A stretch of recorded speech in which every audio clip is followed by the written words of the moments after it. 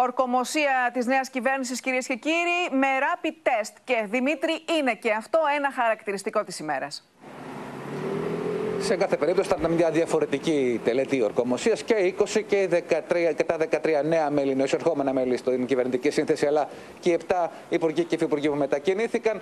Πέρασαν, είχαν το πρώτο τους σταθμό εδώ στη γραμματεία ενημέρωσης της Προεδρίας. Πέρασαν rapid test, όλοι τους, βγήκε το τεστ αρνητικό και στη συνέχεια μετέβησαν στο Προεδρικό Μέγαρο για να ορκιστούν ε, ενώπιον της Προέδρου της Δημοκρατίας. Να σας πω ότι όλες τις δηλώσεις τους καθώς έβγαιναν από εδώ, γιατί έφτασαν όπως καταλαβαίνετε μόνοι τους εξαιτίας των ε, αυστηρών περιοριστικών ε, μέτρων, δήλωσαν ε, ότι δουλειά και μόνο δουλειά θα μπορούσε να ε, κάποιος να συνοψίσει τις δηλώσεις τους σε, αυτή την, σε αυτή τη φράση, ότι όλα πρέπει να γίνουν πάρα πολύ γρήγορα, ότι υπάρχει έντονο μεταρρυθμιστικό έργο που έχει μπροστά της η κυβέρνηση και πρέπει να διορθωθούν άμεσα οι όποιες αστοχίες έχουν υπάρξει ως αυτό εδώ το χρονικό σημείο.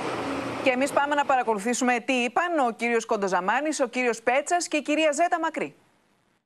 Νέα χρονιά, νέο ξεκίνημα. Με ενότητα, και με πίστη, με σχέδιο, θα κάνουμε τη ζωή των Ελλήνων καλύτερη. Αυτό ξέρουμε να κάνουμε και αυτό θα συνεχίσουμε να κάνουμε. Συνεχίζουμε η ίδια ομάδα στο Υπουργείο Υγείας.